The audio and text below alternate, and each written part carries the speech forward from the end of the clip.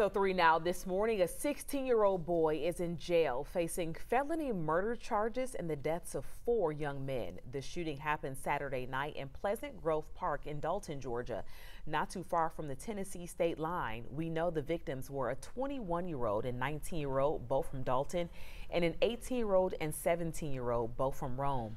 This morning, the Whitfield County Sheriff says he is still piecing together what happened here.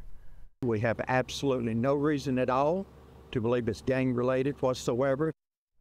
The sheriff says he believes robbery and contraband might be involved here. And this morning, investigators have not released that juvenile suspect's name.